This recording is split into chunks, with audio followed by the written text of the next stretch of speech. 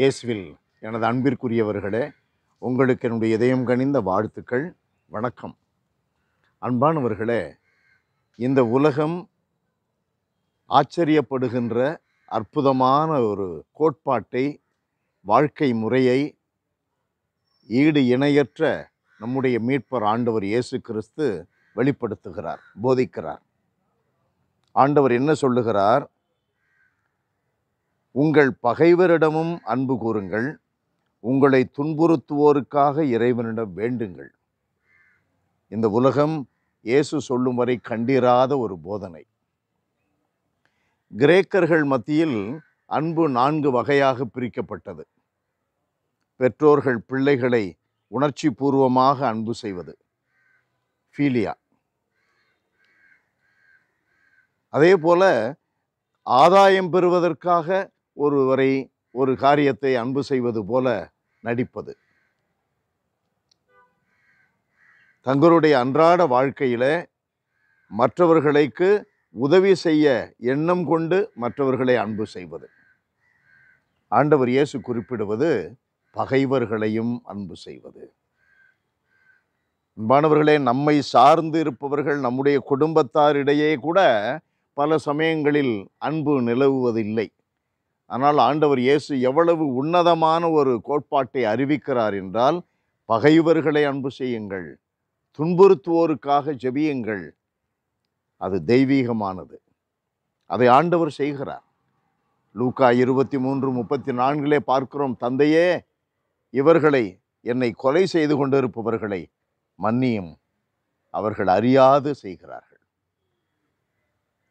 அன்பானவர்களே கடவுள் நமக்கு என்ன சொல்லி கொடுக்கிறார்? இணைச்சட்ட நூலிலே நாம் வாசிக்கிறோம்.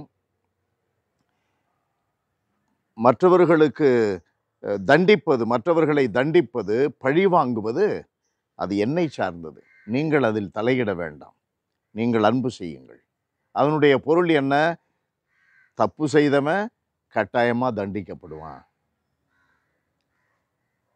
நன்மை செய்பவர்களுக்கு கடவுள் வெகுமதி அளிக்கிறார்.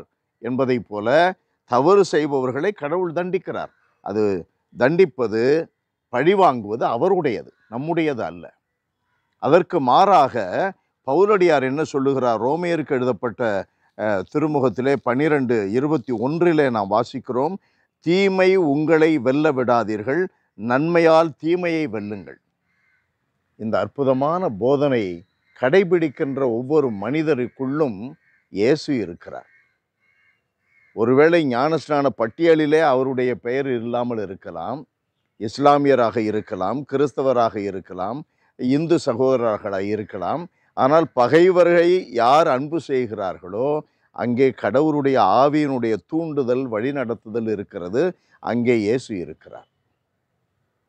அன்பு மிகுந்த எங்கள் தகப்பனை உம்முடைய திருமகனும் எங்கள் மீட்பெருமான இயேசு கிறிஸ்து உயிர்த்தெழுந்ததனால் உலகம் முழுமையிலும் அவர் பிரசன்னம் பரவி இருக்கிறது எல்லா மனிதர்களுக்குள்ளும் அந்த பிரசன்னம் நிலவுவதற்கான வாய்ப்பு இருக்கிறது. அது அன்பின் வழியாக பகைவர்களையும் அன்பு செய்வதின் வழியாக. கடவுளே எங்கள் ஒவ்வொருவரிலும் அவருடைய பிரசன்னம் நிறைவாய் இருக்கக்கூடிய வாசல் திறக்க வைக்கப்பட்டுள்ளது. அந்த வாசல் வழியாகவே நாங்கள் எப்பொழுதும் வாழ்க்கை பயணத்தை தொடர எங்களுக்கு அருள்தார் இயேசுவின் நாமத்தில் ஜபிக்கிறோம் பிதாவே. ஆமென் ஆமென்.